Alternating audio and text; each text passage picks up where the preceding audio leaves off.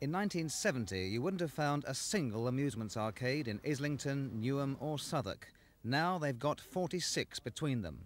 The London Borough's Amusement Arcade Action Group want to stop children playing truant and being lured into gambling and drug addiction and even prostitution, or being picked up by strangers. They're sending a thick dossier of evidence to the Home Office Minister Douglas Hurd. Their chairman stressed that some arcades do their best to operate within the spirit of the law, but the law itself is hopelessly inadequate.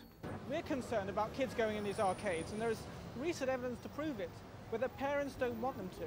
The parents often go and see the manager and say, stop my kid going in.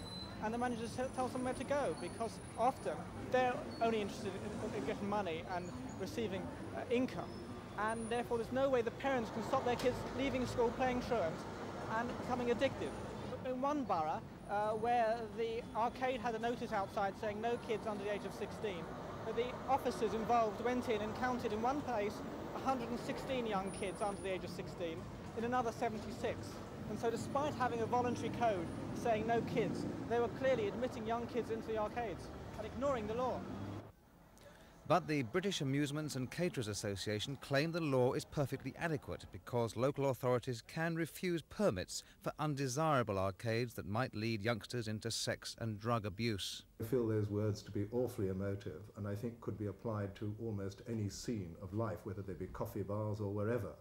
Um, I would prefer to think that our members, certainly, who have well lit arcades underneath the uh, code of practice, and whose staffing levels are such that these things should be impossible would not be the best places for that sort of thing to happen.